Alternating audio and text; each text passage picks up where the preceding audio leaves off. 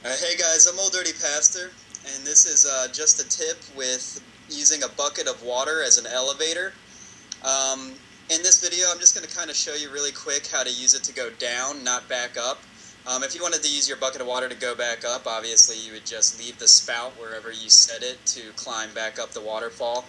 And uh, basically you can have an elevator up or down wherever you go, but I'm just going to go down and I'm going to also collect the, the spout with me as I go, so not only do I get to go down where I want to be, but I'm also going to go down with my bucket of water. So Father McHale is going to assist me in taping, and what he just did there is basically what I'm going to show you to do. So you got a first person view there.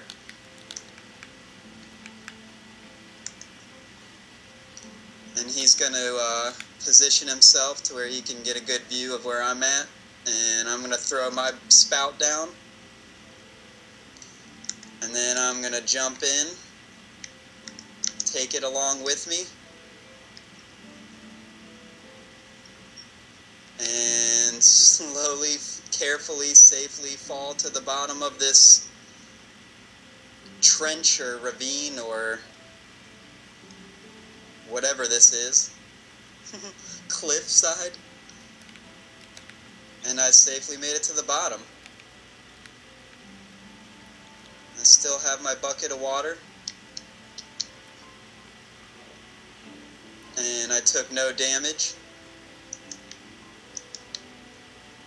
and we're safe and sound. And yeah, so that's just a tip. All right, thanks guys.